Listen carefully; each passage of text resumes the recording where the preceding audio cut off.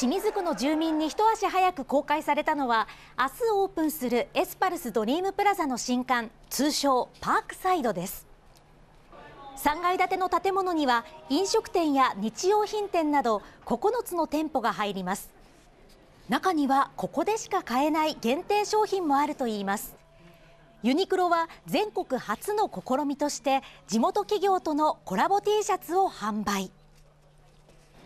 さらに持ち宗で人気のジェラート店は清水店限定で桜えびのジェラートを販売するということです。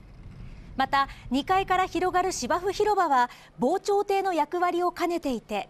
防災と観光が一体化した施設を目指すということです。